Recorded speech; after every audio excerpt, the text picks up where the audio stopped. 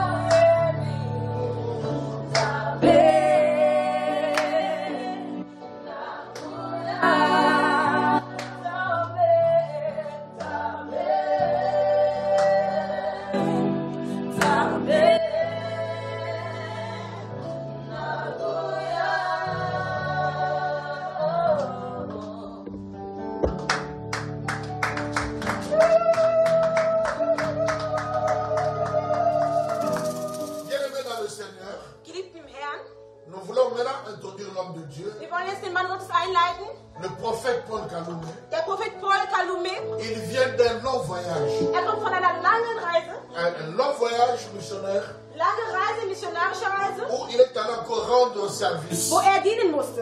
Et de l'aéroport, Und vom Flughafen il est passé directement au lieu où il se trouve ist er maintenant direkt zum Ort, wo er jetzt gerade sich befindet.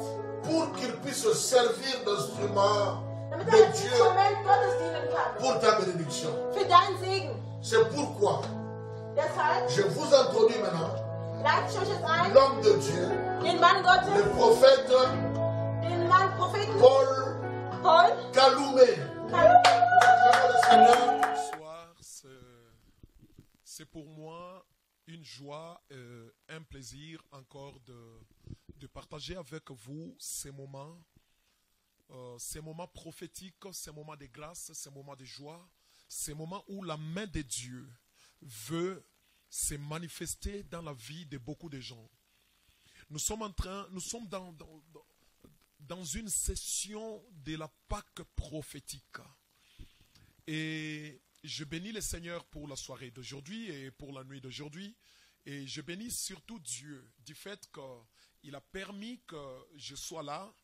Euh, je bénis aussi le Seigneur puisqu'il vous permet que vous soyez là, que nous soyons ensemble pour que nous puissions partager ces moments merveilleux, que nous puissions partager ces messages de la part du Seigneur. Je dis merci beaucoup à notre papa, l'apôtre Martin, euh, pour nous avoir sélectionnés parmi les orateurs qui vont intervenir pendant cette période pascale. Je dis merci beaucoup, papa, et je vous salue et, et je respecte et j'honore votre grâce et votre onction et je me courbe devant votre onction, euh, homme de Dieu. Alors, on m'appelle prophète Paul Kaloumé. Je suis en train de faire ce, ce live à partir de Goma à partir de Goma à l'est de la République démocratique du Congo. Et c'est un moment merveilleux où nous voulons euh, entrer dans la parole de Dieu et nous allons faire des services prophétiques et les services de prière. Alors permettez que nous puissions prier ensemble. Seigneur notre Dieu, nous te disons merci et nous te rendons grâce. Merci pour la soirée d'aujourd'hui. Merci puisque tu permets que nous soyons là pour partager ta parole de Dieu avec ta parole, avec tes enfants qui sont partout dans le monde, dispersés, éparpillés partout dans le monde. Tous ceux qui respectent ton nom, qui honorent ton nom, tous ceux qui t'adorent, oh Dieu. Seigneur, c'est une occasion, c'est une opportunité que tu nous donnes. Seigneur, accepte que ces messages, que cette parole touche le cœur. Laisse que tu visites les gens, quelle que soit leur ville, quel que soit leur pays. Laisse que tu les visites. Merci pour ta grâce au Saint-Père. Parle-nous au nom de Jésus. Amen. Alors nous voulons partager un bon message, un bon message de la part du Seigneur. Je suis dans Exode au chapitre 12. Je suis dans Exode au chapitre 12, je vais faire la lecture du verset premier et je vais me limiter jusqu'au verset 11. Je lis au nom de Jésus-Christ. L'Éternel dit à Moïse et à Aaron dans le pays d'Égypte, Ce mois-ci sera pour vous le premier de mois, il sera pour vous le premier de mois de l'année. Parlez à toute l'assemblée d'Israël et dites, le dixième jour de ce mois, on prendra un agneau pour chaque famille, un agneau pour chaque maison.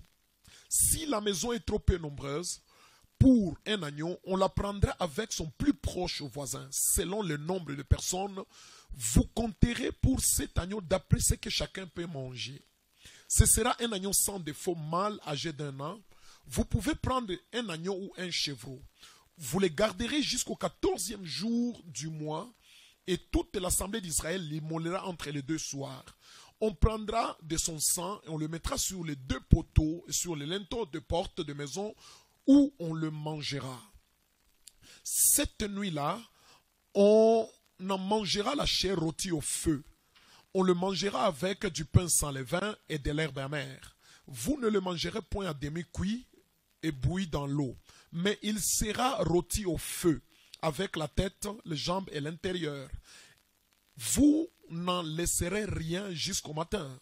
Il, s'il en reste quelque chose, le matin, vous le brûlerez au feu. quand vous le mangerez, vous aurez vos reins sains, vos souliers aux pieds et votre bâton à la main. Vous le mangerez à la hâte, c'est la Pâque de l'Éternel. Amen. Alors, là, je vais parler, je vais parler de la Pâque de l'Éternel. Je vais parler de la Pâque de l'Éternel et je sais que euh, nous serons richement bénis, nous serons grandement bénis à travers ces messages. Ici, il est question des enfants d'Israël. Les enfants d'Israël, ils se sont retrouvés en Égypte. Comment se sont-ils retrouvés en Égypte? La Bible nous dit ils se sont retrouvés en Égypte à partir d'un homme qu'on appelle Joseph. Puisque c'est Joseph qui les a fait entrer dans le pays d'Égypte. Ils sont allés chercher la nourriture, ils sont allés chercher à manger. C'est parce qu'il y avait la famine pendant cette période qu'ils sont allés chercher à manger en Égypte. Souvenez-vous que ça, c'était la troisième famine. La première famine, c'était avec Abraham. Abraham avait sa famine. Et avec sa famine, il est allé en Égypte. Isaac avait sa famine, mais Dieu lui a dit de ne pas aller en Égypte, mais de rester dans le pays des Philistins. Et là, Isaac, il a fait le champ et Dieu l'a béni. Et la troisième famine, c'était pendant la période de Jacob. Mais cette famine-là, quand la famine est arrivée, il devait aller chercher la nourriture dans le pays d'Égypte. Mais il y avait déjà Joseph qui était élevé en Égypte. Il les a appelés et ils se sont retrouvés en Égypte. Pendant les temps, pendant la vie de Joseph, ils menaient une bonne vie. Puisqu'ils étaient à Goshen, ils menaient une bonne vie et ils étaient heureux pendant les temps de Joseph. Mais il est arrivé un moment où il y a un pharaon qui s'est levé. Lui n'a pas connu Joseph. Et il est et même les gens de la génération de Joseph étaient déjà morts. C'est-à-dire, il n'a pas connu Joseph et moins encore les œuvres de Joseph pour l'Égypte. Et c'est comme ça que la Bible nous dit, il a fait des enfants d'Israël des esclaves en Égypte. Ils ont quitté de, de l'opulence, de la grandeur, de l'élévation vers l'esclavage dans le pays d'Égypte. Mais moi, ce qui me concerne, c'est que c'est Joseph qui les a fait entrer. Et par la suite, Dieu, après 430 ans, Dieu s'est rencontré avec Moïse. Il a envoyé Moïse en Égypte pour aller délivrer le peuple. Et Moïse a fait neuf miracles, mais jusque-là, il n'y avait pas de, de, Le peuple n'était pas sorti. Mais le dixième miracle, c'était le miracle de l'agneau. Dieu dit aux enfants d'Israël, vous allez prendre un agneau pour chaque famille, pour chaque maison. Vous allez l'immoler au quatorzième jour et vous allez mettre le sang sur les linteaux et sur le poteau de la maison. Et moi, je passerai. Et quand je verrai le sang, je sauterai et je tuerai le premier-né, tout le premier-né d'Égypte, là où je ne verrai pas le sang. Alors, vous voyez que c'est l'agneau qui a délivré le peuple du pays d'Égypte. Maintenant, à partir de là, je veux que nous puissions être d'accord sur quelque chose. C'est Joseph qui a fait entrer en Égypte. Écoutez la pensée du Seigneur. Joseph, je veux que nous puissions comprendre Joseph à partir de sa mère. Joseph, c'est le fils d'une femme qu'on appelle Rachel. C'est Rachel sa mère. Rachel en hébreu, ça veut dire Raël. Raël, maintenant en hébreu, ça veut dire seulement brebis. Alors, si Joseph c'est le fils de Rachel et que Rachel c'est une brebis, nous comprenons que la brebis ne peut mettre bas qu'un agneau. C'est-à-dire, si Rachel était une brebis, alors Joseph était carrément un agneau. Et là, nous pouvons retourner sur notre pensée originelle. Qui a fait entrer Israël en Égypte? C'est Joseph. Or, Joseph, c'est un agneau, puisqu'il est le fils d'une brebis. Sa mère Rachel veut dire seulement brebis. Ça, c'est la signification du nom Rachel. Ça veut dire brebis. Alors, Joseph, c'était un agneau. Et là, nous comprenons carrément que ce qui a fait entrer Israël dans le pays d'Égypte, c'est un agneau c'est l'agneau qui a fait entrer Israël dans le pays d'Égypte. Ok. comme c'est l'agneau qui a fait entrer Israël, Joseph, l'agneau, il a fait entrer Israël en Égypte. Écoutez, à la sortie, il fallait que le même agneau puisse faire sortir Israël du pays d'Égypte. Puisque l'agneau était utilisé comme la clé pour ouvrir la porte du pays d'Égypte. Puisque Dieu appelle le pays d'Égypte comme étant la maison de la servitude. Si c'est une l'Égypte est une maison de la servitude, alors cette maison avait une porte. Et la clé pour ouvrir cette porte afin qu'Israël entre, c'était Joseph l'agneau. Mais pour qu'Israël sorte, il fallait aussi qu'un agneau puisse ouvrir la porte. Puisque ce qui, les a fait entrer, c'est le même qui doit les faire sortir. La même clé qu'ils ont utilisée pour entrer, c'est la même clé qui doit être utilisée aussi pour sortir. Alors là, vous comprenez que celui qui peut nous aider, c'est l'agneau. Si Isra- Joseph était un agneau, Israël avait aussi un agneau pour le faire sortir. Il en est de même pour nous. Nous, aujourd'hui, nous avons aussi un agneau. Cet agneau-là, c'est l'agneau de Dieu qui ôte le péché du monde. Son nom, c'est Jésus-Christ.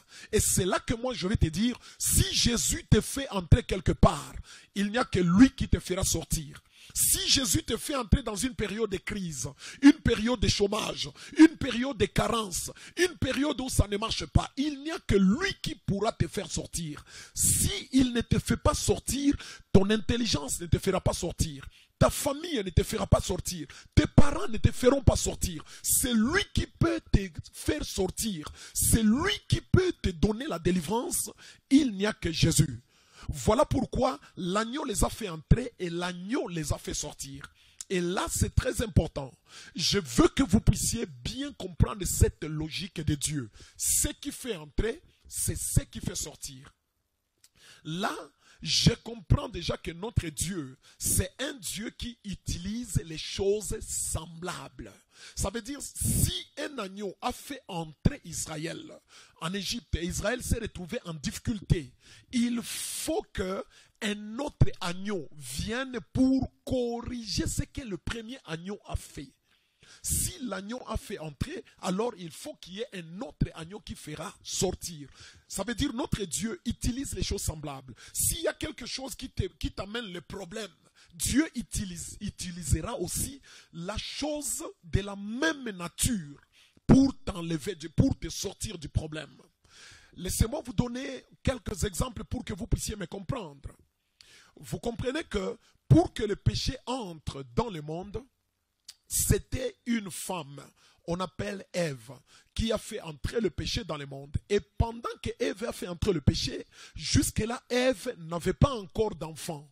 Elle était là, elle n'avait pas encore accouché, elle n'avait pas encore la maternité, elle n'avait pas encore d'enfant. Elle a fait entrer le péché dans le monde, elle a mangé le fruit, le fruit est entré dans le ventre, et par la suite, le péché est entré. Et voilà que Dieu, pour corriger le péché, pour ôter le péché, Dieu devait chercher celle qui ressemble. Voilà pourquoi Dieu est allé trouver euh, euh, Marie. Écoutez que Marie n'avait pas encore d'enfant. Marie n'avait pas encore d'enfant. Et comme Marie n'avait pas encore d'enfant, c'est elle, elle était vierge. Dieu est allé toucher Marie. Il a mis Jésus-Christ dans le ventre de Marie pour que Jésus-Christ vienne pour corriger et pour ôter le péché. Alors là, vous comprenez carrément qu'il y a une femme qui a amené le péché, une autre femme a ôté le péché, a, euh, disons, a amené Jésus pour que Jésus ôte le péché. Et tout, c'est un problème du ventre. Pour Ève, elle a mangé le fruit et est entré dans le ventre. Le péché est entré dans le monde. Et pour Marie, pour ôter le péché, Jésus, comme le fruit de l'arbre de vie céleste, il est entré aussi dans le ventre de Marie et Aujourd'hui, il a ôté le péché. Vous voyez, il y a toujours la ressemblance. C'est là que moi je te dis, tu peux corriger les choses que ceux qui t'ont précédé ont fait. Ève a fait quelque chose, Marie est venue pour corriger ce que Ève avait fait. C'est là que moi je vais te dire, tu peux corriger ce que tes parents ont fait. Tu peux corriger ce que ceux qui t'ont précédé ont fait. Tu peux corriger ce que tes grands frères ont fait. Là où ils ont commis des erreurs, là où il y a des difficultés, tu peux les corriger. Le Seigneur a fait de toi un correcteur. Il a fait de toi quelqu'un qui va corriger totalement ce que les autres ont fait. C'est très important. Laissez-moi donner un autre exemple. Voilà que euh, Adam et Ève, lorsqu'ils ont péché, ils sont allés se cacher au milieu des arbres, au milieu des arbres du jardin. Mais Jésus aussi pour venir ôter les péchés. Lui, il ne devait pas se cacher au milieu des arbres, mais lui, il s'est exposé au milieu des deux bois, au milieu des arbres, sur la croix. Il s'est exposé pour que toi et moi, nous soyons sauvés. Alors c'est très important de comprendre que Dieu utilise les choses semblables. Regardez aussi dans les déserts. La Bible nous dit lorsqu'Israël s'est rebellé devant Dieu dans les déserts, Dieu a envoyé des serpents brillants. Et ces serpents brillants-là, ils ont commencé à piquer les enfants d'Israël. Tout celui qui était piqué, il devait mourir. Mais comme solution, lorsque Moïse est allé prier Dieu, Dieu lui dit, comme ce sont les serpents qui vous amènent des problèmes, des serpents qui vous piquent, fabrique toi aussi un serpent d'airain. Tu vas le mettre sur une perche. Tout celui qui sera piqué par un serpent, quand il regardera le serpent d'airain, il sera guéri et délivré. Alors vous comprenez qu'un serpent amène un problème, un autre serpent amène la solution. C'est comme ça que je suis en train de déclarer sur ta vie. S'il y a un magicien, un sorcier, ils ont amené un problème dans ta vie. Nous amenons l'Esprit de Dieu pour corriger ces problèmes au nom de Jésus. S'il y a un fiancé qui t'a abandonné, le Seigneur va amener un autre pour corriger. S'il y a un problème qui est arrivé, le Seigneur t'amènera une solution. Et ensuite, regardez ce qui s'est passé avec Joseph.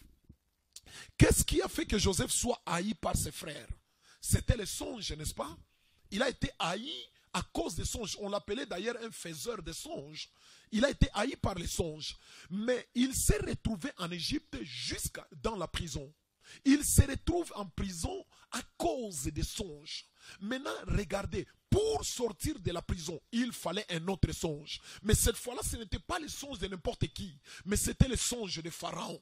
Alors vous comprenez carrément que s'il y a quelque chose qui amène le problème, il y a une solution qui viendra par la chose qui ressemble. Voilà pourquoi un agneau a fait entrer et un agneau a fait sortir. C'est très important.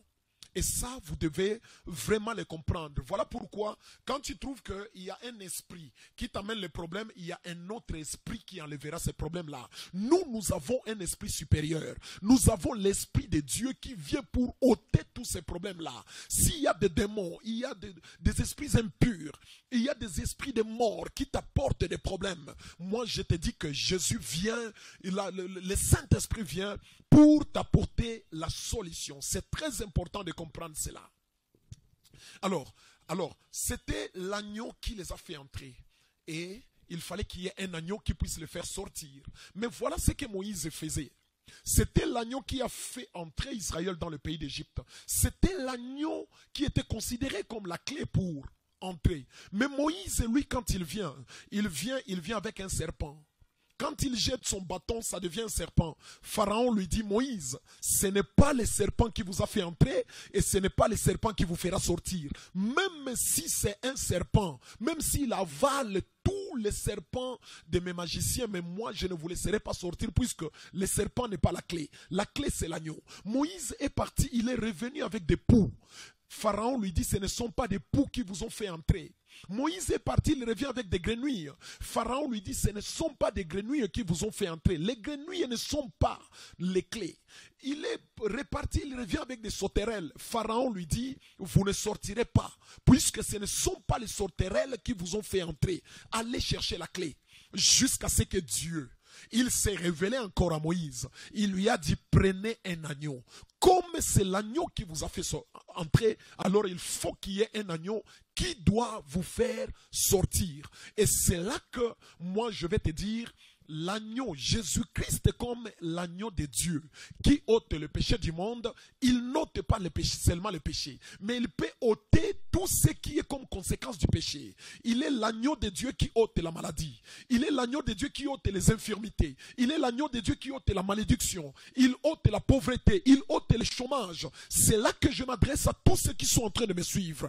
Comme prophète de Dieu, au nom de Jésus, toi qui me suis, je suis en train de balayer, je suis en train d'ôter dans le nom de Jésus l'agneau de Dieu. J'ôte ta maladie au nom de Jésus. J'ôte tes, euh, tes difficultés au nom de Jésus. J'ôte, j'enlève ton chômage au nom de Jésus. Tes blocages, je les enlève au nom de Jésus de Nazareth. Je suis en train d'enlever toutes ces choses-là. Je les enlève, j'ôte ça dans le nom puissant de Jésus de Nazareth. Je suis en train d'enlever tout ça.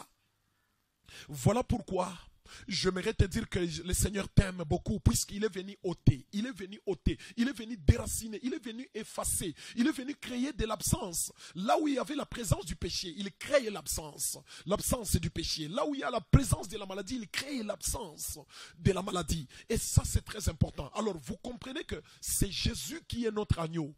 Voilà pourquoi, lorsque Marie devait aller accoucher, comme Jésus était un agneau dans le ventre de Marie, comme Marie est allée accoucher, elle se retrouve à la maternité là où on accouche les hommes.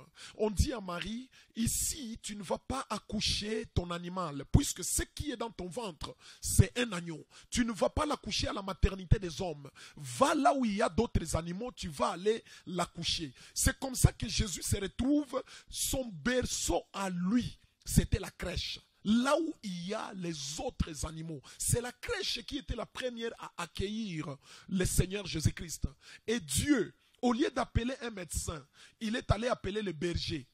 Il a envoyé des anges pour appeler des bergers, pour leur dire, berger, venez, il y a un agneau qui vient de naître ici. Alors tout ça, ce sont des preuves que l'agneau de Dieu véritable, c'est Jésus de Nazareth.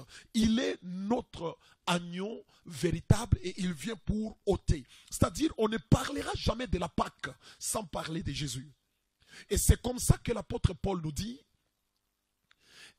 Christ, notre Pâque, a été immolé. Alors là, vous comprenez carrément que la Pâque pour nous, ce n'est pas seulement un jour, mais la Pâque, c'est une personne. Cette personne-là, c'est Jésus de Nazareth. C'est-à-dire, lundi, je suis dans la Pâque, mardi, je suis dans la Pâque, mercredi, je suis dans la Pâque, jeudi, je suis dans la Pâque. À tout moment que je suis en Jésus-Christ, je suis dans la Pâque. Puisque l'apôtre Paul nous dit, Christ, il est notre Pâque. Alors c'est très très important que nous puissions comprendre cela, que c'est Jésus qui est notre Pâque. En disant Jésus est notre Pâque, ça veut dire Jésus est notre délivrance. Jésus est notre élévation. Jésus est notre exode. Puisqu'on ne parlera jamais de l'exode sans l'agneau. Ce qui fait, ce qui donne un sens à l'exode, c'est quoi? C'est l'agneau pascal. L'exode ne pouvait pas exister sans l'agneau. Et allez-y comprendre ce que Dieu a dit. Dieu, le Seigneur a dit, ce mois-ci sera pour vous le premier de mois de l'année. Alors quand il dit, ce mois-ci sera pour vous le premier de mois de l'année, allez-y comprendre que quand l'agneau est venu, l'agneau est venu avec un nouveau calendrier pour le peuple. Puisqu'il leur dit, ce mois-ci sera pour vous le premier de mois de l'année. Ça veut dire quoi? Quand vous allez immoler l'agneau, l'agneau ne vient pas seul, mais il vient avec une nouvelle saison. Il vient avec un nouveau calendrier. Autrefois, vous étiez soumis au calendrier des Égyptiens. Et sur ces calendriers des Égyptiens, il y avait des mauvais souvenirs il y avait les souvenirs de fouet, il y avait les souvenirs de deuil, il y avait les souvenirs de maladie, il y avait les souvenirs de la mort. Mais Dieu, quand il amène l'agneau, l'agneau vient avec un nouveau calendrier. Et ce nouveau calendrier commence avec la délivrance. Ça commence avec la mort de leurs ennemis. Ça commence avec la victoire d'Israël. Ça commence avec la sortie d'Israël. Ça commence avec la main de Dieu. Ça commence avec, euh, euh, la grandeur de Dieu. Et c'est là que moi aussi je te dis, Jésus comme notre Pâques, il ne vient pas seul, mais il t'amène une nouvelle saison. Il t'amène un nouveau calendrier. Il t'amène un nouveau jour. Il t'amène une nouvelle lumière. C'est-à-dire, quand tu marches avec Jésus, tu marches avec un nouveau calendrier. Tu marches avec une nouvelle saison. Tu marches avec, euh, un nouveau temps. Donc c'est très très important de comprendre ça par rapport au calendrier de l'agneau. C'est-à-dire quand il vient, il vient avec un calendrier, il vient avec un nouveau temps, il vient avec une nouvelle saison. Donc là, c'est très très important. Alors, voilà que l'agneau, au dixième miracle, l'agneau devait être immolé. L'agneau devait être immolé. Et maintenant voilà. Lorsque l'agneau est immolé, Dieu, qu'est-ce qu'il a fait? Dieu, il a tué tout le premier-né du pays d'Égypte. Il a tué tout le premier-né. C'est-à-dire l'agneau a pris la place de tous les premiers-nés des enfants d'Israël. Et maintenant, en Égypte, pendant cette période, il y avait deux catégories de cadavres. Il y avait les cadavres de l'agneau. Mais les cadavres de l'agneau, c'était un cadavre qui était consommable. Je répète, c'était un cadavre consommable qu'on devait manger pour sortir. Mais de l'autre côté, en Égypte, il y avait aussi les cadavres de le premier-né. Ces cadavres-là qui étaient des premiers-nés, c'était des cadavres non consommables, c'était des cadavres enterrables qu'on devait aller enterrer. Alors, il y a ces deux catégories de cadavres. Il y avait l'agneau, c'était un cadavre consommable. Voilà pourquoi Jésus-Christ, comme l'agneau de Dieu, il est consommable. Voilà pourquoi il dit, si quelqu'un ne, ne mange de ma chair et qu'il ne boive de mon sang, il ne peut entrer dans le royaume des cieux. Alors Jésus, il est consommable. Nous le consommons à travers la parole. À tout moment que nous écoutons la parole, à tout moment que nous suivons la parole, nous sommes en train de manger l'agneau. Et comme nous mangeons l'agneau, nous le mangeons dans sa totalité. Nous mangeons l'agneau pour sortir. Quand tu écoutes la parole, la parole te fera sortir. La parole fera que tu puisses aller loin. La parole fera que tu puisses eh, faire de grandes choses que toi, tu n'as jamais fait. La parole fera que tu puisses arriver beaucoup plus loin. À ce niveau ici, avant d'aller plus loin, je voulais parler à... Je suis en train de voir quelqu'un. On t'appelle Louise. On t'appelle Louise. Suis-moi bien, on t'appelle Louise. On t'appelle Louise Fouani, Fouani, Fouani. On t'appelle Louise Fouani. Écoute-moi, Louise Fouani. Pendant que je suis en train de te parler maintenant, il y a quelque chose que je suis en train de corriger. Je les corrige à quel niveau? Je suis en train de les corriger au niveau de l'Angola. Il y a quelqu'un qui est allé faire les diamants. Il est allé faire les diamants. Et comme pour trouver les diamants, il avait besoin de, de, féticheurs. Il est allé chercher des féticheurs, mais il est parti avec ton nom. Tellement que depuis ta naissance, depuis ton enfance, tu as une grande étoile. Il voulait aller pour prendre ton étoile afin de l'utiliser, afin qu'il trouve les diamants. C'est ce que le Seigneur est en train de me montrer. Mais en ce moment ici, je suis en train de briser ce qui est des ténèbres. Au nom de Jésus de Nazareth, je chasse, je brise et je détruis. Au nom de Jésus, tout celui qui a osé exploiter ton étoile. Au nom de Jésus, je détruis. Je détruis et je suis en train de retourner ton étoile vers toi. Au nom de Jésus, aucune personne ne peut eh, exploiter ton étoile. Au nom de Jésus de Nazareth, je détruis tout ce qu'ils ont fait. Je le détruis au nom de Jésus. Je le détruis au nom de Jésus. Alors, si tu es là, Louise, si tu es là, j'aimerais bien que tu, tu puisses saisir cette prophétie, puisque ta saison commence. Ne t'en fais pas, ne regarde pas Covid. Covid n'est pas venu pour toi. Covid n'est pas venu pour ta famille. Mais Covid est venu pour les autres. Mais toi, c'est une saison où le Seigneur veut faire de grandes choses dans ta vie. Il veut faire de grandes choses avec toi. Mais entre-temps, il y a quelqu'un d'autre que je vois, on t'appelle Alex. On t'appelle Alex, Alex nous Alex Noukini. Alex Noukini. Alex Noukini. À, côté de toi, je suis en train de voir Pamela. Mais à côté de toi, je vois aussi Yann Nelson. Le, Seigneur est en train de me dire qu'il est en train de vous visiter, puisqu'il y a aussi Frankie. Alors, le Seigneur me dit, il est en train de vous visiter, puisque c'est votre saison. Il y a un moment où tu as fait un vœu à l'éternel, tu as fait un vœu au Seigneur. Tu lui as dit, Seigneur, si j'arrive à une certaine dimension, Seigneur, je te servirai avec mes moyens, je te servirai avec mon argent. Le Seigneur me dit de te dire, lui-même, il te soutient. Lui-même, il t'assiste afin que tu arrives à réaliser ce que tu as fait comme vœu. Je vois la main du Seigneur sur toi. Au nom de Jésus de Nazareth. Alex, au nom de Jésus et toi, ainsi que tous les autres dont je viens de citer ici. Au nom de Jésus de Nazareth, laisse que la main de Dieu soit sur vous. Laisse que l'esprit prophétique puisse vous saisir et que ça ouvre toutes les portes qui étaient fermées. Au nom de Jésus de Nazareth, toutes les portes fermées, je les ouvre au nom de Jésus de Nazareth. Je les ouvre au nom de Jésus de Nazareth. Au nom de Jésus. Par la puissance du nom de Jésus, je vous fais accéder à un autre escalier, à un autre niveau, à une autre dimension. Alors, j'aimerais que si tu es là, Alex, Noukini, je veux que tu puisses réellement te manifester. J'aimerais que Alex. Oui. Oui. Ok, ok. Alors, il faut réagir, il faut recevoir cette prophétie avec un amen. C'est vrai que je ne peux pas entendre ton amen, c'est Dieu qui doit entendre ton amen. Mais dis un amen puisque Dieu, il est en train de réaliser des grandes choses en votre faveur. Il est en train de réaliser des grandes choses. Alors, Allez-y comprendre. Là, nous sommes en train de parler de la Pâque. Ce moment de Pâque, c'est un moment de grâce pour Dieu. C'est un moment de puissance pour l'éternel. Comme je le disais, en Égypte, les Égyptiens devaient enterrer leurs morts, mais Israël devait manger son mort. Son mort. Alors, vous comprenez que l'agneau, on devait l'enterrer dans le ventre des gens.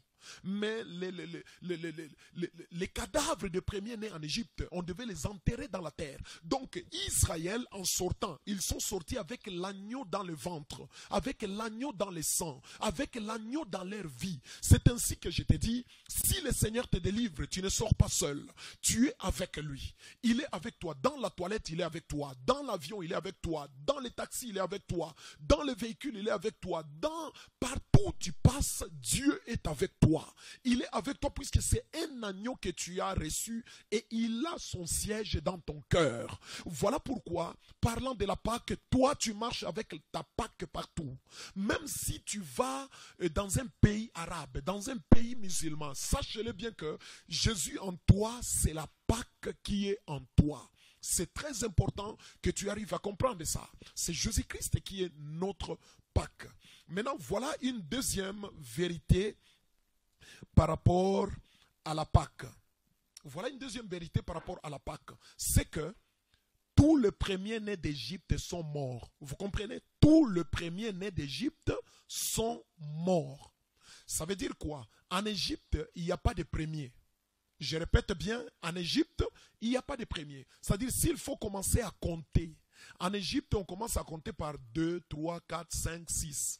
On ne peut pas compter un puisque tous les premiers-nés sont morts. C'est-à-dire, toutes les têtes sont morts. Tous les leaders sont morts. Tous les numéros 1 sont morts. Tous les commencements sont morts. Tous ceux qui étaient comme des alphas, des alphas en Égypte sont morts. En Égypte, il n'y a pas de alpha. En Égypte, il n'y a pas de premiers. En Égypte, il n'y a pas de commencement. En Égypte, il n'y a pas de premiers-nés. Ça veut dire, si en Égypte, il n'y a pas de premier-né, alors c'est dans l'église qu'il y a le premier-né. Et c'est là que moi, je te dis, dans le monde, aujourd'hui, il n'y a pas de premier-né. C'est toi qui es le premier. C'est toi, enfant de Dieu, qui es le premier. Voilà pourquoi je te dis, même si dans ta famille tu étais, tu étais le dernier, fais déjà tes valises puisque tu veux quitter la dernière place pour occuper ta première place. Tu dois occuper ta place puisque tu es un premier. Dans le monde, il n'y a pas de champions. Dans le monde, il n'y a pas de gagnants. Dans le monde, il n'y a pas de victorieux. Dans le monde, il n'y a pas de premiers-nés. Il n'y a pas de alpha. C'est toi. C'est toi que le Seigneur fait de toi une tête. Il fait de toi une tête. Laisse que tu sois la tête dans ta famille, que tu sois la tête dans ta maison, que tu sois la tête dans ton quartier, que tu sois la tête dans ton entreprise. Au nom de Jésus de Nazareth. Au nom de Jésus de Nazareth. Au nom de Jésus de Nazareth. Il y a quelqu'un que je suis en train de voir. On t'appelle, Et tu écris Judith, tu écris Judith, Judith. Mais tu écris Judith et tu écris aussi Ante. C'est comme Judith Ante. Écoute-moi bien. Dans l'année 2020, vers la fin, tu étais malade. Tu étais malade. Vers la fin de l'année 2020, tu as passé des périodes difficiles, des périodes de maladie. Mais moi, je te dis ceci. Le Seigneur est en train de me dire, il enlève la maladie dans ta maison. Il enlève la maladie dans ta famille. Il veut te donner la bonne santé puisque tu as encore des choses à réaliser. Au nom de Jésus de Nazareth, je suis en train d'imposer la maladie. Au nom de Jésus de Nazareth, j'impose la maladie chez toi. J'impose la maladie. Je dis, et j'impose plutôt la guérison. J'impose la guérison et je balaye la maladie. Je balaye ta maladie. Je balaye ta maladie. Toute maladie qui était imposée chez toi, moi je l'enlève. Au nom de Jésus de Nazareth, le Seigneur nous dit guérissez les malades. Voilà pourquoi cette nuit, je commence par toi. Sois guéri, Judith. Sois guéri. Et toi et ta famille. Au nom de Jésus, le Seigneur me dit plus question de maladie. Il impose la guérison. Il impose la grâce. Il impose la puissance de Dieu. Comme c'est la Pâque, toi tu reçois déjà un cachet de guérison. Et Dieu me dit, il a des projets à faire avec toi. Et comme il a des projets à faire avec toi, alors comprends bien que tu vas aller loin. Tu as encore un long parcours à faire avec le Seigneur. Voilà pourquoi il veut sauvegarder ta santé. Il veut euh, consolider encore ta santé. Alors, comme je le disais, on continue avec la Pâque. Alors, en Égypte, n'accepte jamais que les païens puissent nous dominer. Voilà pourquoi dans toute la Bible, tout celui qui n'avait pas la promesse, s'il occupe le trône, on devait le détrôner pour que l'homme de la promesse puisse prendre place. Et c'est là que moi je te dis, s'il y a des vastis qui occupent des trônes aujourd'hui, moi je te dis, ils vont sortir pour que les Esther occupent les trônes. Au nom de Jésus de Nazareth. Pourquoi? Puisque en Égypte, il n'y a pas de premier-né. En Égypte, on commence par deuxième. Voilà pourquoi je ne permettrai jamais aux païens de te dominer. Je ne permettrai jamais aux païens d'être plus puissants que toi. Je ne permettrai jamais aux païens d'être plus riches que toi. Je ne permettrai jamais aux païens d'être plus forts que toi. Je ne permettrai jamais aux païens d'être plus puissants que toi. Au nom de Jésus, sois fort, sois puissant, sois grand, sois élevé. Dans tes affaires, sois fort. Dans ta maison, sois fort. Dans ta famille, sois fort. Partout où il y avait des faiblesses, j'ai dit, tu dois être fort et tu dois être puissant. C'est très important. Maintenant, écoutez là où les choses deviennent sérieuses. Pour ceux-là qui ont des Bibles, prenons nos Bibles et lisons. Lisons un passage. Je suis dans Ézéchiel. Je suis dans le livre d'Ézéchiel. Je suis dans le livre d'Ézéchiel. Mais là, dans ce livre d'Ézéchiel, je suis dans Ézéchiel au chapitre 29. 29, le verset 3. Écoutez ce que la Bible dit. Parle et tu diras. Ainsi parle le Seigneur l'Éternel. Voici j'en vais à toi, Pharaon, roi d'Égypte, grand crocodile. Dans d'autres versions, on dit serpent marin. Mais ici, dans Louis II, dans la version Louis II, on dit grand crocodile qui te couche au milieu de tes fleuves et qui dit Mon fleuve est à moi. Mon fleuve est à moi et c'est moi qui l'ai fait. Alors là, vous comprenez carrément que on est en train d'appeler Pharaon comme qui? On l'appelle grand crocodile. La Bible appelle Pharaon grand crocodile. Si la Bible appelle Pharaon grand crocodile, alors en Égypte, Dieu a permis que l'agneau puisse délivrer le peuple d'Israël. Vous voyez, l'agneau c'est un animal. Mais Pharaon, l'agneau était du côté, du côté d'Israël. Mais euh, Pharaon était du côté des Égyptiens. Mais Pharaon, on l'appelle crocodile. Ça veut dire le jour de la Pâque, ces jours-là de la Pâque, c'était les combats des deux animaux. C'était l'agneau contre les crocodiles. Alors là, vous comprenez que selon la nature, les crocodiles doit toujours manger l'agneau. Le crocodile est plus fort que l'agneau. C'est-à-dire, ça, c'est selon la nature. Le crocodile est plus fort que l'agneau. Mais voilà là où les choses dérangent un peu. L'agneau, il peut être faible devant le crocodile aussi longtemps qu'il n'est pas encore mort. Il n'est pas encore sacrifié. Mais quand l'agneau est sacrifié, il devient plus puissant que le crocodile. C'est comme ça que Dieu, les jours de la Pâque, il n'a pas voulu que l'agneau reste vivant. Il fallait que l'agneau soit sacrifié. Il fallait que l'agneau meure pour avoir de la supériorité sur les crocodiles. Et c'est là que moi je veux vous dire ceci. Tous ceux qui étaient plus puissants que vous, à travers la Pâque, vous, vous serez plus puissants qu'eux. Si c'était la maladie, si c'était la sorcellerie, si c'était le chômage, si c'était les difficultés, vous, vous serez plus puissants qu'eux au nom de Jésus de Nazareth. Rien ne peut vous dominer. Alors, vous comprenez que l'agneau, euh, l'agneau d'Israël a vaincu le crocodile en Égypte. Il a vaincu le crocodile en Égypte. Et comme l'agneau a vaincu le crocodile en Égypte, regardez, entre l'agneau et le crocodile, le terrain de l'agneau, c'est sur la terre sèche. Là, l'agneau est à l'aise. Mais le terrain du crocodile, c'est dans l'eau. Alors, c'est là que le crocodile pouvait dire à l'agneau que si tu viens de me vaincre, tu viens de me vaincre, c'est sur la terre ferme que toi, tu viens de me vaincre. Mais moi, je vais t'amener, allons-y sur mon terrain aussi, nous allons voir si tu vas me vaincre. Alors l'agneau lui a dit, nous allons sortir, nous allons aller, nous allons partir sur ton terrain. Comme j'étais vaincu sur mon terrain, je t'amène alors sur ton terrain. C'est comme ça que Moïse a dirigé Israël dans vers le chemin de la mer Rouge. Arrivé dans la mer Rouge, la mer Rouge, c'est c'est quoi? C'est le terrain du crocodile puisque c'est l'eau.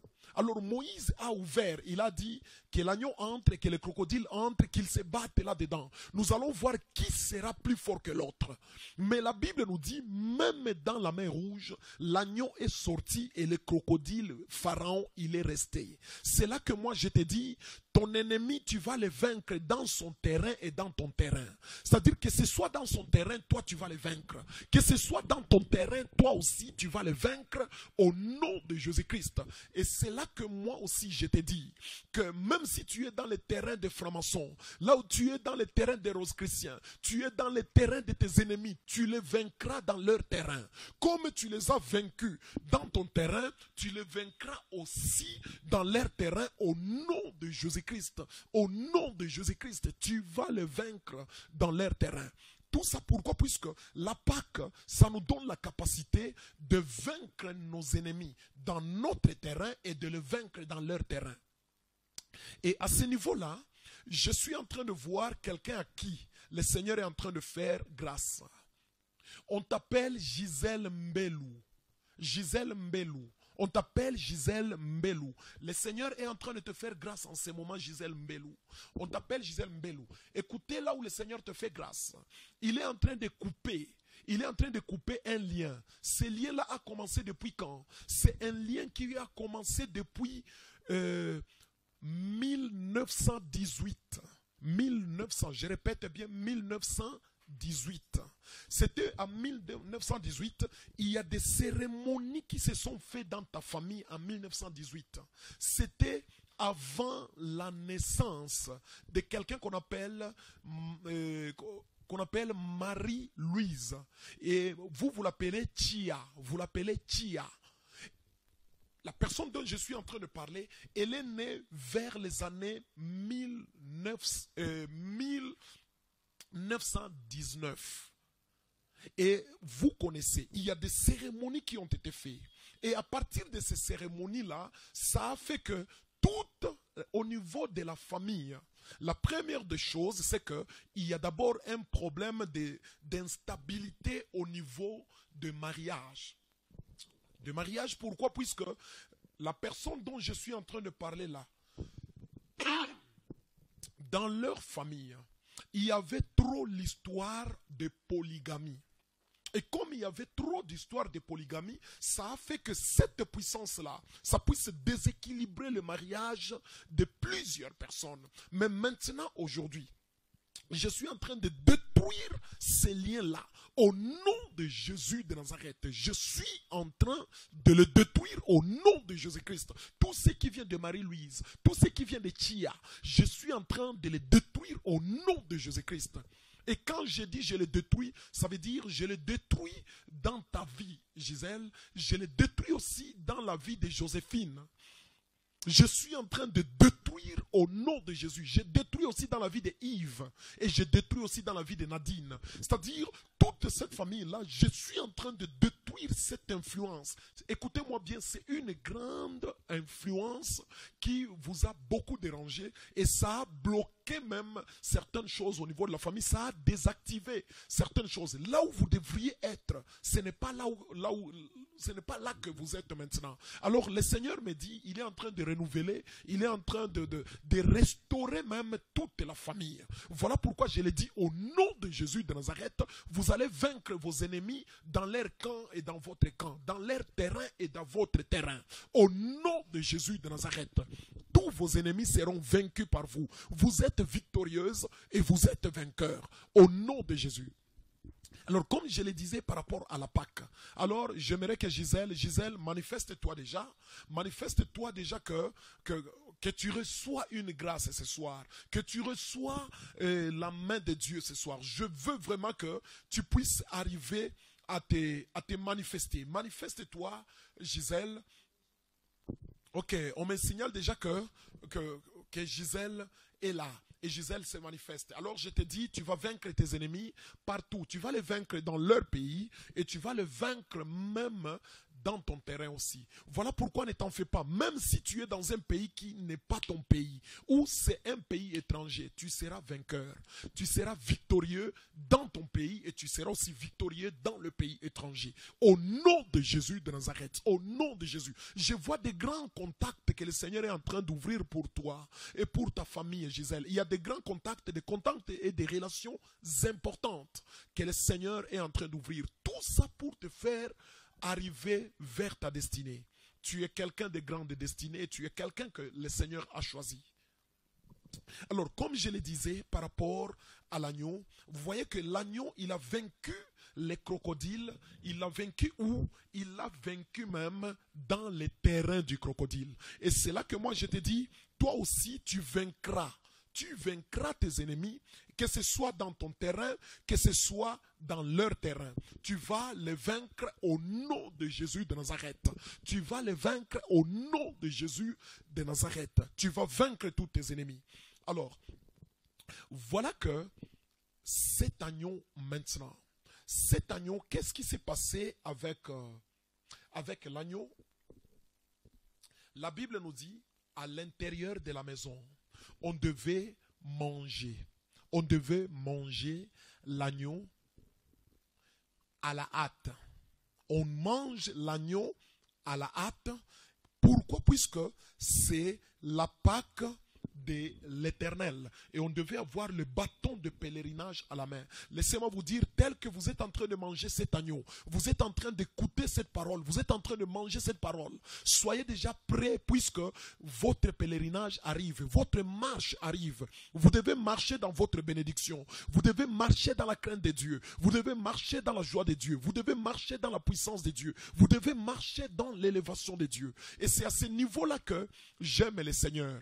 Écoutez, lorsque Israël est sorti, qu'ils sont arrivés devant la mer Rouge, après la délivrance de l'agneau, quand ils sont allés, ils sont arrivés devant la mer Rouge, la Bible nous dit, comme euh, les Égyptiens étaient derrière, ils étaient derrière, Israël a commencé à pleurer. Ils ont commencé à pousser les cris de pleurs. Et la mer rouge était témoin de leurs pleurs. La mer rouge voyait comment euh, Israël pleurait. La mer rouge a vu, la mer rouge a entendu aussi leurs pleurs. La mer rouge était un témoin de leurs pleurs. Mais regardez, lorsque Moïse a divisé la mer et Israël à traverser. Arrivé de l'autre côté de la mer rouge, Israël a commencé à chanter. Tout ça, c'est pour te dire tout simplement que comme la mer rouge a vu les pleurs d'Israël, il fallait que la même mer rouge puisse aussi voir la joie d'Israël, puisse écouter les chants d'Israël. Ils ont entendu les pleurs, ils entendront aussi quoi? Ils entendront aussi tes chants. Voilà pourquoi je te dis, si tu pleures aujourd'hui, ceux qui ont vu tes pleurs, ils verront aussi tes chants. Au nom de Jésus de Nazareth, tous ceux qui t'ont vu pleurer, ils te verront se réjouir. Voilà pourquoi que ton ennemi ne se réjouisse pas. Pourquoi? Puisque puisqu'il a vu tes pleurs, il a vu ton blocage, il verra ta percée aussi. Au nom de Jésus de Nazareth, il verra ta percée au nom de Jésus-Christ.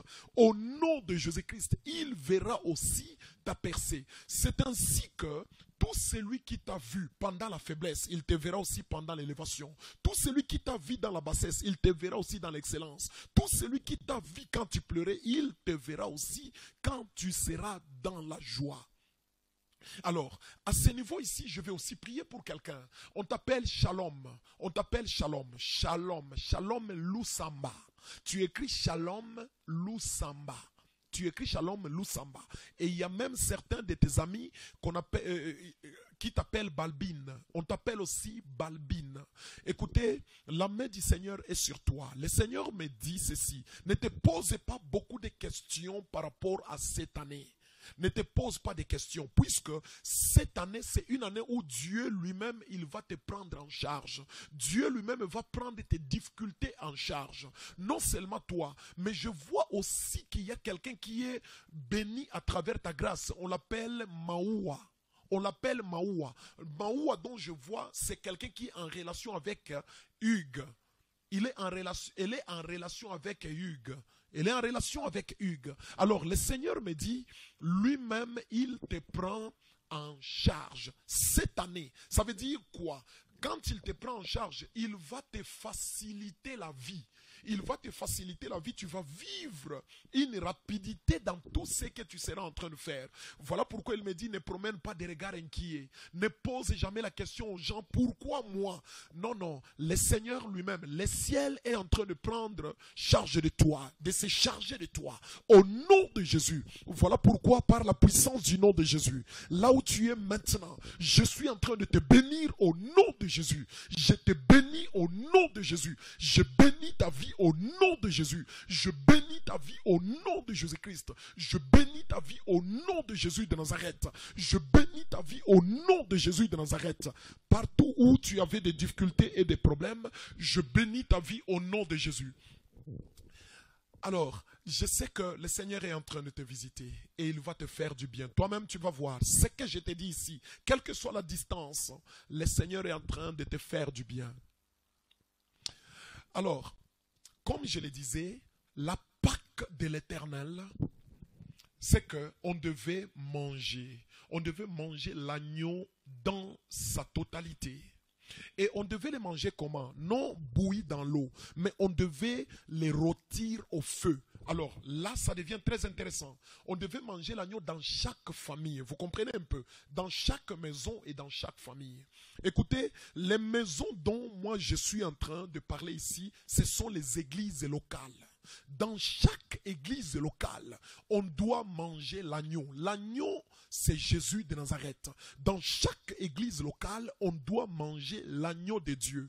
C'est-à-dire, pour vivre la délivrance, tu ne manges pas l'agneau, tu ne verras jamais la délivrance. Pour que tu vois la délivrance, tu dois manger l'agneau. Voilà pourquoi chaque maison est considérée comme une église locale. C'est ainsi que je t'ai dit, toi qui es en train de me suivre, évite cet esprit-là de religion. Tu peux être dans ton église locale. Ne pense pas que c'est seulement vous qui avez l'agneau. Il y en a qui ont, aussi l'agneau dans une autre église locale. Ce sont tes frères. Il y en a qui ont l'agneau en Afrique. Ce sont tes frères. Il y en a qui ont l'agneau en Asie, en Chine, au Japon, au Corée du Nord, au Corée du Sud. Il y en a qui ont l'agneau aussi même en Arabie Saoudite. Tous ceux qui prient Jésus-Christ, ils ont l'agneau et ce sont tes frères. Sauf que ce sont les maisons qui sont différentes nous devons exclure cet esprit-là de religion. Tout celui qui marche avec l'agneau, tout celui qui écoute la parole, tout celui qui reçoit Jésus dans sa vie, il est ton frère. C'est très important de comprendre ça. Voilà pourquoi les chrétiens, vous voyez, par rapport au coronavirus, nous devons nous mettre ensemble. Nous devons d'abord éliminer cet esprit-là des maisons. Nous devons nous mettre ensemble pour que nous puissions combattre pendant cette période difficile où le diable élève le corona pour détruire les vies des gens, pour bloquer même l'œuvre de Dieu. En Europe, il y en a qui sont confinés, qui ne, euh, qui ne se rassemblent plus. Ils sont en train de se rassembler juste euh, de manière virtuelle à travers les réseaux sociaux. Nous devons nous mettre ensemble. Évitons cet esprit-là secteur. Le sectarisme, nous devons éviter ça. Quand nous avons l'agneau, donc nous sommes des frères et nous, nous sommes des sœurs. Et là, je suis en train de m'adresser à quelqu'un. On t'appelle Sharon. On t'appelle Sharon. Sharon, je sais que vous pouvez être plusieurs Sharon, mais la Sharon dont je suis en train de parler, je suis en train de voir Sharon au niveau du montage. Au niveau du montage. Le Seigneur me dit ceci. Le Seigneur me dit que ton temps est arrivé. Ton temps est arrivé pourquoi?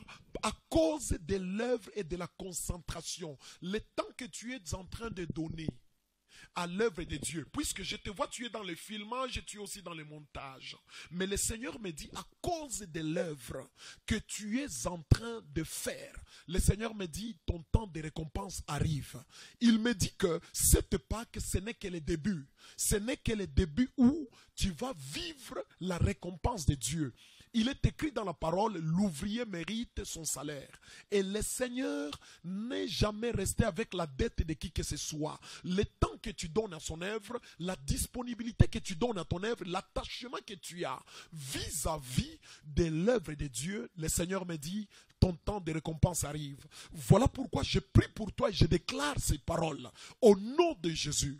Au nom de Jésus, là où tu travaillais, tu moissonnais peu, commence à moissonner grand. Au nom de Jésus, commence à moissonner là où tu n'as pas travaillé. Commence à trouver là où tu n'as pas cherché. Au nom de Jésus, laisse que le Seigneur se souvienne de toi. Laisse que le ciel se souvienne de toi à partir d'aujourd'hui. Au nom de Jésus de Nazareth. Reçois cette grâce de Dieu. Reçois cette puissance de Dieu ce soir. Je sais que cette période de Pâques, cette période, ce n'est qu'un commencement, ce n'est qu'un début. Alors, comme je le disais, par rapport à la Pâque, dans quelques minutes, je vais couper, puisque nous devons prier. Nous devons prier avec tous ceux qui sont connectés à vous. J'aimerais que vous puissiez appeler vos frères, appeler vos soeurs, appeler vos amis, puisque la main de Dieu est là. Le Seigneur est en train d'agir. Tout celui qui touche seulement un téléphone, tout celui qui touche même sa télévision à la maison, la main de Dieu est en train de le toucher au nom de Jésus.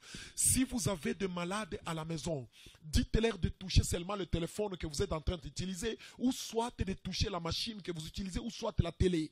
Au nom de Jésus de Nazareth, au nom de Jésus de Nazareth, je communique la guérison, je communique la joie, je communique la vie, je communique la grandeur, je communique l'élévation. Au nom de Jésus de Nazareth, au nom de Jésus, quel que soit l'endroit où vous êtes, quel que soit les lieux où vous êtes, au nom de Jésus de Nazareth. Hmm, la main de Dieu est là, la main de Dieu est sur vous, elle est en train de circuler à travers le monde. Tous ceux qui sont malades, tous ceux qui sont visités par des maladies, la crise, la carence et la pauvreté, au nom de Jésus, tous ceux qui sont visités par des blocages, d'une manière ou d'une autre, je suis en train de vous faire sortir de là, au nom de Jésus de Nazareth. Laisse que la main de Dieu soit avec vous.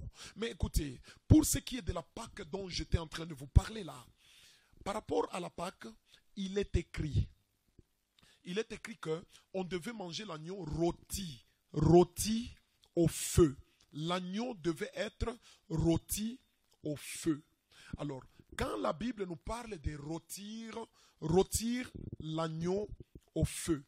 Un agneau rôti au feu, le feu dont je suis en train de parler ici, il est question du feu du Saint-Esprit. Voyez un peu. Ça veut dire quoi? L'agneau, c'est la parole. Le feu, c'est le Saint-Esprit. Ça veut dire la parole que nous devons manger. Ça doit être une parole inspirée par le Saint-Esprit. La parole travaillée par le Saint-Esprit. Voilà pourquoi, dans chaque église, nous devons voir la- nous devons voir la parole qui est travaillée par le Saint-Esprit, la parole qui est... euh, qui est formée par le Saint-Esprit, la parole qui est faite par le Saint-Esprit. C'est ainsi que comme je suis en train de parler ici, laisse que ces messages qui est fait par le Saint-Esprit, ces messages qui est travaillé par le Saint-Esprit, au nom de Jésus, que ça touche ta vie, que ça touche totalement ta vie, au nom de Jésus de Nazareth, au nom de Jésus de Nazareth, que ça touche ta vie, que ça touche ta famille, au nom de Jésus de Nazareth.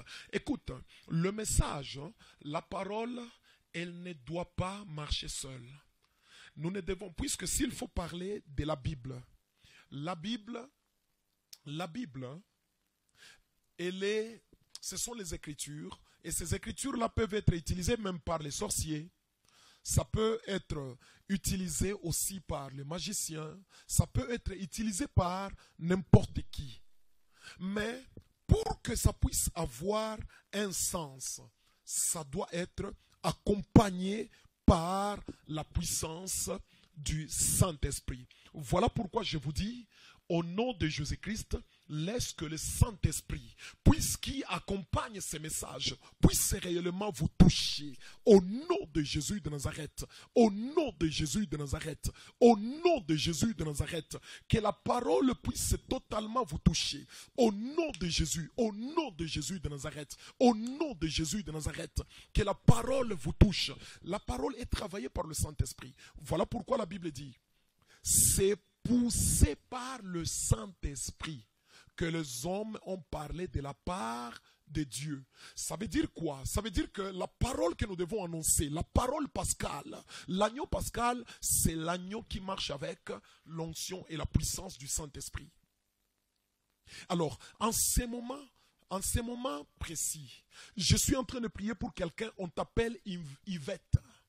Yvette, on t'appelle Yvette, mais on t'appelle Yvette Nzouzi. Yvette Nzouzi. Yvette Nzouzi, écoute-moi bien. Il, y a quelqu'un que je vois, on l'appelle Adrien, c'est un médecin. On l'appelle Adrien, je le vois, c'est un médecin. Et d'ailleurs, euh, Adrien dont je vois, je suis en train de le voir avec une femme qu'on appelle Fifi. On l'appelle Fifi. Et parmi ses enfants, parmi les enfants, je suis en train de voir, il y a quelqu'un qu'on appelle David. Je vois, il y a quelqu'un qu'on appelle Ephraim.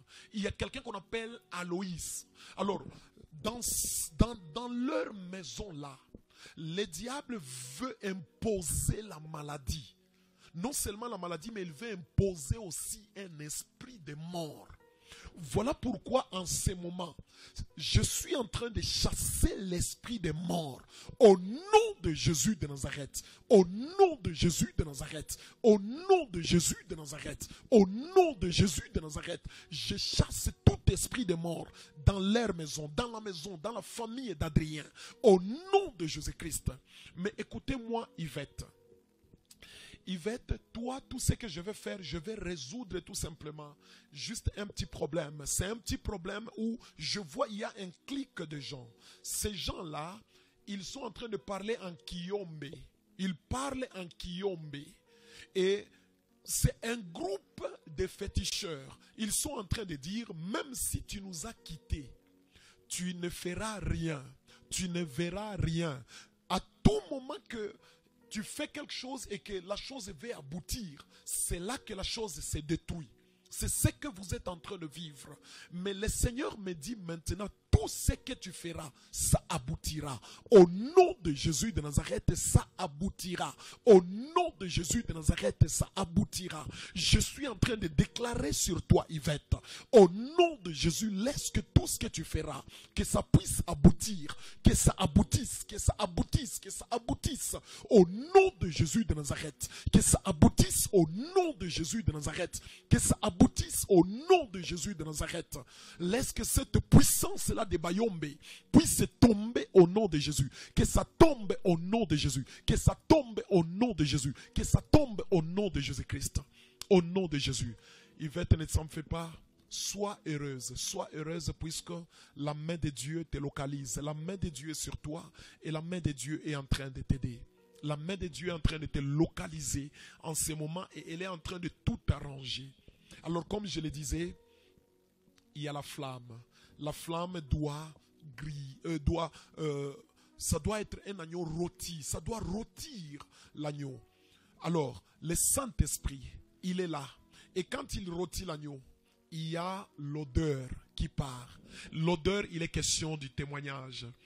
Dans chaque église, là où l'agneau est rôti, il y a toujours des grands témoignages. Il y a des très grands témoignages, il y a des bons témoignages dans chaque église. Il y a toujours le témoignage. Mais ces témoignages-là, c'est les témoignages de qui? C'est tout simplement les témoignages euh, le, le- les témoignages de l'agneau, les témoignages de Jésus-Christ. Alors, voilà pourquoi Jésus nous dit toujours, vous serez mes témoins. Il dit, vous serez mes témoins. Si Jésus peut nous dire, nous serons ses témoins. Alors, moi, je vais te dire que à tout moment où tu reçois l'agneau et tu as le Saint-Esprit, sachez-le bien que les témoignages de Jésus-Christ va t'accompagner. Le témoignage de Jésus-Christ va marcher avec toi. Le témoignage de Jésus-Christ sera ton partage, sera ton héritage. Et le témoignage de Jésus-Christ euh, marchera avec toi. Alors vous comprenez que même si les Égyptiens ne mangeaient pas l'agneau dans leur maison, mais ils avaient quand même, ils sentaient quand même l'odeur de l'agneau. Le monde sentira l'odeur de ta délivrance. Le monde sentira l'odeur de ton élévation, l'odeur de ta bénédiction. Au nom de Jésus-Christ, au nom de Jésus-Christ. Il y a quelqu'un pour qui je vais, avec qui je vais prier maintenant. On t'appelle, on t'appelle Florence, on t'appelle Florence, mais on t'appelle très bien Florence Kouyikila. Florence Kouyikila. Florence Kouyikila, je suis en train de voir quelqu'un à côté de toi. On l'appelle Pacheco. On l'appelle Pacheco. Le Seigneur me de vous dire, l'année 2019 et 2020 n'était pas une très bonne année pour vous. Ce n'était pas une bonne année pour vous. C'était une année où vous avez vécu euh, les non-réalisations de vos promesses non-réalisation de vos promesses. Mais le Seigneur me dit, cette année, ne regardez pas Covid. Ne regardez pas Covid. Covid n'est pas venu pour vous, n'est pas venu pour vous bloquer. Mais Dieu me dit de vous dire que lui, il va marcher avec vous. Il va marcher avec vous pourquoi? Puisque je suis en train de voir Pacheco. Pacheco, il s'est donné par rapport à l'œuvre de Dieu. Et par rapport à cette œuvre, le Seigneur veut l'aider cette année comme l'année 2020 n'était pas une bonne année pour vous, le Seigneur veut remplacer l'année 2021 euh, 20 par l'année 2021. C'est-à-dire ce que vous n'avez pas pu réaliser en 2020, vous voulez commencer à les réaliser en 2021. Au nom de Jésus de Nazareth, au nom de Jésus de Nazareth. D'ailleurs, il y a quelqu'un d'autre que je vois. Il a presque le même nom que vous, mais lui, on l'appelle Déborah. Déborah dont je vois, je vois Déborah, c'est comme une journaliste. Elle est comme elle fait comme la communication. C'est comme une journaliste. Le Seigneur est en train de me dire que les moments, la saison, le temps de Déborah arrive. Le temps de Déborah arrive. Pourquoi? Puisque comme l'année passée n'était pas bonne, alors Dieu choisit cette année pour essuyer vos larmes. Il choisit cette année pour vous aider. Il choisit cette année pour vous soutenir. Au nom de Jésus de Nazareth, je suis en train de prier Dieu pour que le Seigneur change cette année 2021 et euh, 2000, que le Seigneur change, puisse vous donner ce que vous n'avez pas gagné en 2020. Que le Seigneur vous le donne dans cette année 2021. Tout ce que 2020 a détruit, tout ce que 2020 vous a ravi, laisse que le Seigneur puisse vous le faire récupérer en 2021 ici. Au nom de Jésus de Nazareth. Au nom de Jésus de Nazareth. Au nom de Jésus de Nazareth. Au nom de Jésus de Nazareth. Au nom de Jésus de Nazareth. Que le Seigneur vous le donne et que le Seigneur vous visite puisque il est Dieu, puisqu'il est vivant, puisqu'il est puissant. Je vais aller clôturer dans quelques minutes, hein, mais je vais vous dire ceci. Écoutez, quand ils étaient en train de manger l'agneau, Dieu avait dit, il a dit à Moïse, Moïse parle aux enfants d'Israël, que chacun puisse parler à son voisin, à son voisin égyptien, vous allez leur dire de vous donner, de vous donner des biens avec lesquels vous allez sortir. C'est-à-dire, vous ne sortirez pas comme ça. Vous allez sortir avec des biens. Alors, c'est ce que le Seigneur était en train de dire, que vous allez sortir avec des biens. Et comme il devait aller chez le voisin, alors le Seigneur voulait seulement dire que je vous donne des voisins riches, des voisins qui vous donneront des choses.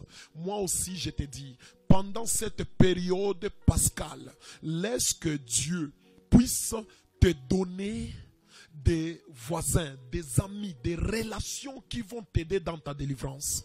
Puisque même si c'était des Égyptiens, c'était de, de- de- de mauvaises personnes, mais Dieu, qu'est-ce qu'il a fait? Dieu avait permis que ces païens-là puissent leur donner les choses avec lesquelles ils vont aller servir, la richesse avec laquelle ils vont aller servir l'Éternel dans le désert.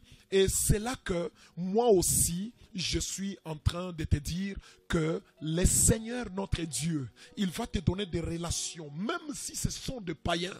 Mais ces païens-là, ils vont te donner des grandes choses et des bonnes choses avec lesquelles tu vas aller servir l'éternel. Alors, je suis en train de lever des grandes relations pour toi au nom de Jésus.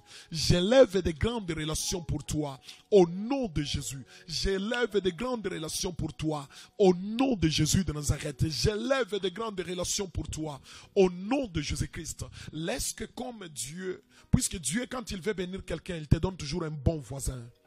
Regardez cette femme-là, l'épouse du prophète qui était mort.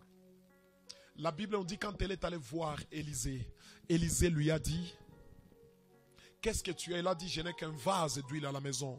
Élisée lui a dit, va à la maison.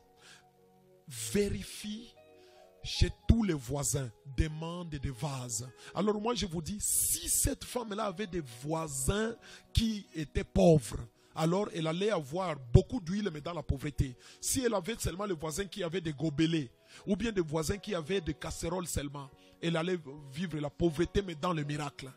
Alors, comme elle avait des voisins qui avaient aussi des grandes vases comme des fûts, alors elle a payé toute sa dette. C'est là que quand Dieu aime quelqu'un, il te donne toujours des relations de richesse. Et quand il te donne ces relations-là, c'est pour t'enrichir. Alors, j'aimerais dire ceci. Il y a une maman pour laquelle, c'est une femme pour laquelle je vais prier. On t'appelle Susanna. On t'appelle Susanna. Susanna, mais toi tu aimes qu'on t'appelle Suzy. Tu aimes qu'on t'appelle Suzy. Suzy, écoute-moi bien. Je suis en train de voir Dieu. Dieu amener les gens qui vont financer les idées que tu as. Puisque depuis avant, tu as des idées. Les idées par rapport aux ONG les idées par rapport aux ONG. Mais le Seigneur me dit, le moment arrive où il va élever les gens qui vont soutenir ce que tu es en train de penser, le projet que tu as.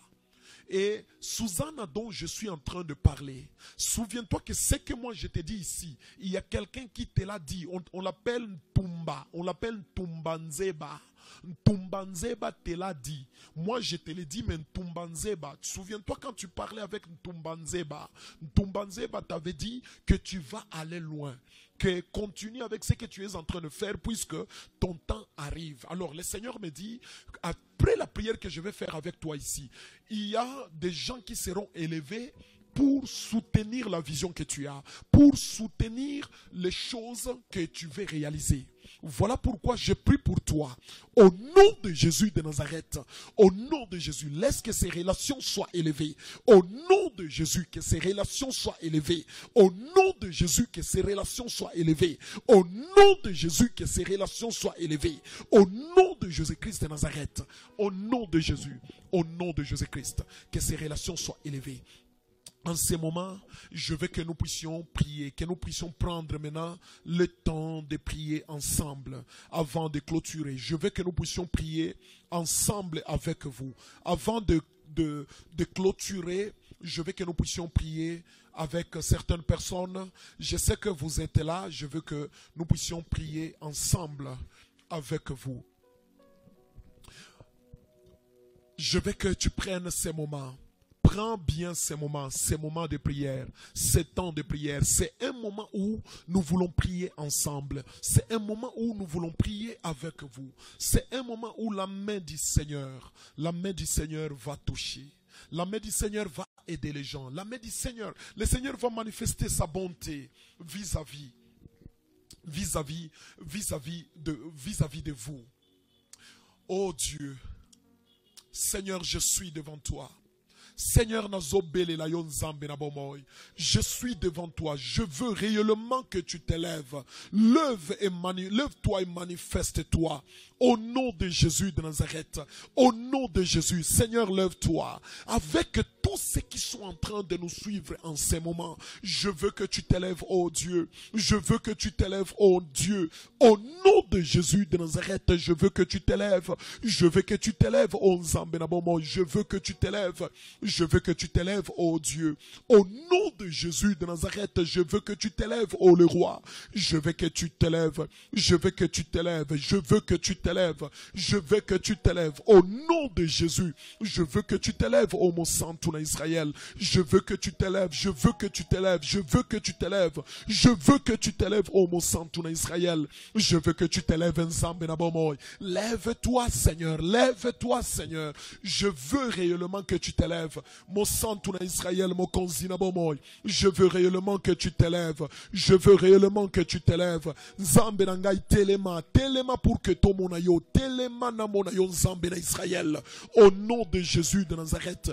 Au nom de Jésus, je veux que tu t'élèves au Saint-Dieu. Je veux que tu t'élèves au Nzambe na Ilonga. Mon santo na Israël, lève-toi en ces moments. Au nom de Jésus, je veux que tu t'élèves, oh Dieu. Je veux que tu t'élèves. Je veux que tu t'élèves, ô Saint-Père. Au nom de Jésus de Nazareth. Nazana. Laisse que tu touches le malade. Touche les malades, touche les malades. Même ceux qui ont le Covid et qui sont internés quelque part, qui sont en train de nous suivre. Touche-les au nom de Jésus. Touche-les, Père. Je veux que tu les touches. Je veux que tu les touches. Je veux que tu les touches. Je veux que tu les touches. Je veux que tu les touches. Au nom de Jésus. Au nom de Jésus. Au nom de Jésus. Au nom de Jésus. Au nom de Jésus. Je veux que tu les touches, au Père. Je veux que tu les touches, oh mon Dieu. Je veux que tu les touches, oh mon Dieu. Je veux que tu les touches, oh mon Dieu. Je veux que tu les touches. Au nom de Jésus. Au nom de Jésus. Au nom de Jésus. Au nom de Jésus. Au nom de Jésus. Au nom de Jésus. Je veux que tu les touches, au Père. Au nom de Jésus de Nazareth. Au nom de Jésus de Nazareth. Je veux que tu les touches. Mon santo. Tout celui qui est en train de me suivre maintenant. Touche-les, au Père. Touche-les, au Père. Touche-les, au Père. Touche-les au Père, au nom de Jésus, au nom de Jésus, au nom de Jésus, au nom de Jésus, au nom de Jésus. Pendant que je suis en train de prier ici, je suis en train de voir, il y a une femme qui s'appelle Sakuba. Il y a une femme qui s'appelle Sakuba. Je suis en train de te voir un moment au Luxembourg. Je suis en train de te voir un moment au Luxembourg. Et d'ailleurs, à côté de toi, je vois, il y a quelqu'un qui s'appelle Edouard. Edouard Chisumpa. Edouard Chisumpa. Edouard Chisumpa. Je te vois au Luxembourg. Je te vois un moment au Luxembourg. Et je vois la main de Dieu se poser dans ta famille. Pourquoi dans ta famille? Puisque le Seigneur me dit, il est venu choisir des enfants. Et dans ta famille, je suis en train de voir, il y a Roussel. Il y a Roussel. Suis en train de voir Jocelyne et je suis en train de voir Chris. Alors le Seigneur me dit, il vient pour choisir des gens dans ta famille. Il vient pour élever les gens dans ta famille afin de les aider. De la même manière que Dieu a choisi Lévi, le Seigneur me dit, il vient choisir tes enfants pour qu'ils puissent grandir dans la main de Dieu, dans la grâce de Dieu, sous la puissance de Dieu. Au nom de Jésus de Nazareth, au nom de Jésus de Nazareth, au nom de Jésus, ce que je suis en train de te dire, je vois, il y a l'homme de Dieu, le serviteur de Dieu l'est pas. Il te l'a déjà dit. Il te l'a déjà dit. Un moment d'ailleurs, il a eu à prier pour toi par rapport à ce que je suis en train de te dire maintenant. Voilà pourquoi je suis en train de prier maintenant au nom de Jésus de Nazareth.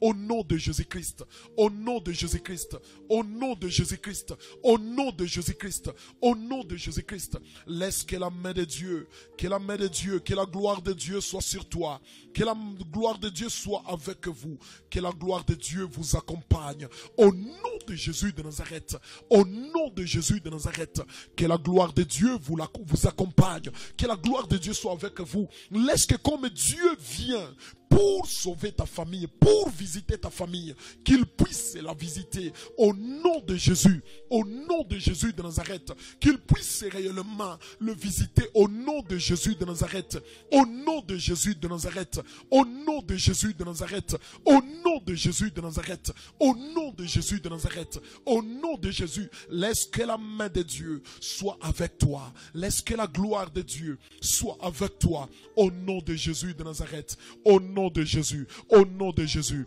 au nom de Jésus, au nom de Jésus, au nom de Jésus. Au nom de Jésus-Christ, je veux que la main de Dieu soit avec toi. Oui, je suis en train de prier avec vous. Vous tous qui vous sentez être bloqués dans la vie. Vous avez des grands projets, mais vous avez besoin que le Seigneur vous visite. Vous avez besoin que le Seigneur vous assiste. Je suis en train de prier avec vous. Comme il y a quelqu'un, on t'appelle Letty, on t'appelle Letty. Et d'ailleurs, on t'appelle Letty, mais euh, il y a d'autres qui t'appellent Rose. Il y a d'autres qui t'appellent Rose. Laisse-moi te dire, Letty, tu as la, tu as la grâce de Dieu. Comme je suis en train de prier pour les gens qui ont des projets qu'ils vont réaliser, le Seigneur me dit de te dire que tu puisses parler à la famille des cocos, à la famille des cocos, que votre temps arrive, que tu leur dises que le temps arrive. Puisque je vois, il y a d'ailleurs un enfant là que le Seigneur, sur la tête desquels je vois, il y a une huile du Seigneur. Je le vois. Je vois, euh, je vois cet enfant-là. Puisque je vois, il y a, il y a Christian. Il y a Christian qui est là. Il y a aussi Bonheur qui est là. Alors, le Seigneur est en train de me dire que il y a, il- va leur faire du bien, il va les visiter, il va les assister, puisque leur moment arrive. Voilà pourquoi je t'ai dit, Letty, on t'appelle aussi Rose. Le Seigneur veut réaliser les rêves de ta vie. Il veut matérialiser tous les projets que tu as. Voilà pourquoi toi, avec tous ceux qui sont en train de nous suivre à travers le monde et qui ont des projets, je suis en train de prier pour tous ceux qui ont des projets. Si tu as des projets, un simple Amen. Si tu écris seulement Amen sur Facebook, si tu réponds par Amen, ça se réalise directement dans ta vie. Au nom de Jésus, au nom de Jésus, que tous ceux qui ont des projets, voyez leurs projets se réaliser. Au nom de Jésus, vivez la réalisation de vos projets. Au nom de Jésus, au nom de Jésus, au nom de Jésus, au nom de Jésus. Même si là où vous êtes, c'est un terrain difficile. Ça peut être difficile pour les autres, mais pas pour vous. Au nom de Jésus de Nazareth, au nom de Jésus de Nazareth, au nom de Jésus de Nazareth, au nom de Jésus de Nazareth, au nom de Jésus de Nazareth, je suis en train de matérialiser, de concrétiser tous les projets que vous avez. À partir de ce moment pascal, au nom de Jésus, vivez la main de Dieu, vivez la gloire de Dieu, vivez la puissance de Dieu. Au nom de Jésus de Nazareth, au nom de Jésus, et vous et vos familles, vivez la main de Dieu, vivez la puissance de Dieu, vivez la gloire de Dieu. Au nom de Jésus, que vos projets se réalisent partout dans le monde, en Asie, en Amérique, en Europe, en Océanie, en Afrique. Au nom de Jésus, quelle que soit la ville, le pays où vous êtes, où vous êtes en train de nous suivre, au nom de Jésus, laisse que vos projets puissent réellement se réaliser dans le nom puissant de Jésus, dans le nom puissant de Jésus, dans le nom puissant de Jésus, dans le nom puissant de Jésus. Vivez la main de Dieu. Vivez la gloire de Dieu. Vivez la puissance de Dieu. Au nom de Jésus de Nazareth. Au nom de Jésus de Nazareth. Au nom de Jésus de Nazareth. Au nom de Jésus de Nazareth. Vivez la grandeur de Dieu. Vivez la puissance de Dieu. Vivez la puissance de Dieu. Au nom de Jésus. Que la gloire de Dieu puisse vous accompagner. Que la gloire de Dieu. Au nom de Jésus. Au nom de Jésus. Vivez la gloire et la grandeur de Dieu. Vivez la puissance de Dieu. Vivez sa divinité. Au nom de Jésus. Au nom de Jésus. Au nom de Jésus. Tous ceux qui sont en train de me suivre maintenant et qui ont besoin de vivre aussi une élévation, une ascension sur le plan, euh, sur le plan onctionnel, sur le plan de l'onction, sur le plan du prophétique, sur le plan de miracle. Je suis en train de libérer cette onction au nom de Jésus. Quel que soit là où vous êtes, dans vos maisons, dans vos familles, dans vos voitures, partout où vous êtes maintenant, je libère cette onction prophétique. Je libère une onction de miracles, des signes, de prodiges. Au nom de Jésus de Nazareth, au nom de Jésus de Nazareth, je libère cette onction, je libère cette grâce. Au nom de Jésus de Nazareth, au nom de Jésus, au nom de Jésus, au nom de Jésus, au nom de Jésus, laisse que la main de Dieu, que la main de Dieu soit avec vous. Que la main de Dieu soit avec vous. Lydia, Lydia, je te vois, Lydia. Tu es en train de dire, tu as besoin que le Seigneur puisse te visiter. On t'appelle Lydie. Lydie, je te vois, le Seigneur me dit, il te visite maintenant. Il me dit, à travers les prières que je suis en train de faire maintenant, il est en train de te visiter. Souviens-toi, un moment, tu t'es vu en songe sur une montagne sur une montagne, il y avait beaucoup de gens que toi tu parlais, il y a plusieurs personnes qui étaient en train de te suivre, de t'écouter et de te suivre. Écoute bien, ça c'est une élévation et c'est un leadership fort et puissant que Dieu te donne. Au nom de Jésus de Nazareth, le Seigneur veut faire avec toi ce qu'il n'a pas fait avec tes parents, ce qu'il n'a pas fait avec tes grands-parents. Au nom de Jésus, Lydia, au nom de Jésus, Lydie, au nom de Jésus, je bénis ta vie, je libère une portion de je libère une onction sur toi. Au nom de Jésus de Nazareth, au nom de Jésus de Nazareth, laisse que la main de Dieu soit avec toi. Laisse que la main de Dieu te touche. Laisse que la puissance de Dieu te touche. Merci Seigneur pour la grâce. Merci Seigneur pour la puissance. Merci Seigneur pour la divinité. Merci Seigneur pour ce que tu es en train de réaliser. Oh Dieu, je sais que tu es Père. Je sais que tu es Dieu. À partir de maintenant, j'ouvre, j'ouvre cette année pour vous. Que ce soit une grande année pour vous. Au nom de Jésus. Allez-y vivre la gloire de Dieu. Allez-y vivre la grandeur et la puissance de Dieu. Alors je suis en train de dire merci beaucoup à notre papa, l'homme de Dieu, l'apôtre Martin. Apôtre, mon apôtre, merci beaucoup de nous avoir donné cette occasion. Mon apôtre, merci beaucoup, puisque à travers cette occasion, il y a plusieurs enfants de Dieu que le Seigneur est en train de visiter. Mon apôtre, je te considère comme un père. Le fait que tu es l'ami de mon père, l'apôtre Samson, alors tu es aussi un père pour moi. Et merci pour cet honneur que tu nous as donné. Merci pour ce choix. Et nous disons aussi merci à l'église Mirs que le Seigneur bénisse cette église et que le Seigneur visite cette église, que le Seigneur commence un nouveau temps, un nouveau vent, une nouvelle période par rapport à par rapport à cette église. Laisse que le Seigneur puisse vous faire du bien. Mais avant que je ne puisse clôturer, il y a quelqu'un qu'on appelle Angélique Londa. Angélique Londa, écoute-moi bien, il y a la main de Dieu, il y a la puissance de Dieu. Parmi les gens qui sont visités, il y a, tu es aussi euh, sélectionné et tu es choisi parmi les gens qui sont visités. Et le Seigneur est en train de me dire, au mois de juin, à partir du mois de juin, il y a des grands miracles que tu vas commencer à vivre. Je sais que tu tu vas témoigner ça. Tu vas témoigner ça puisque Dieu reste Dieu. Il y a des grands miracles que tu vas vivre. Ce sera des miracles hors pair. Ce sera des miracles que plusieurs personnes n'ont pas encore vécu. Ce sera quelque chose que tu cherchais mais que tu n'as jamais trouvé. Mais Dieu, il me dit que c'est le moment où il lâche sa grâce sur ta vie.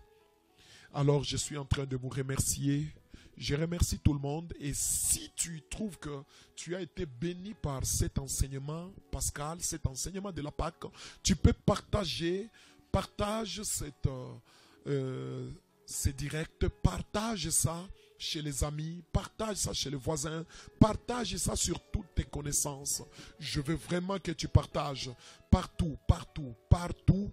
Essaye un peu de, de partager comme tu veux. Alors, à ce niveau, je suis en train de dire, laisse que le Seigneur puisse vous bénir, que le Seigneur puisse vous assister et que le Seigneur vous soit meilleur et favorable. Au nom de Jésus-Christ. Merci beaucoup. Que Dieu vous bénisse.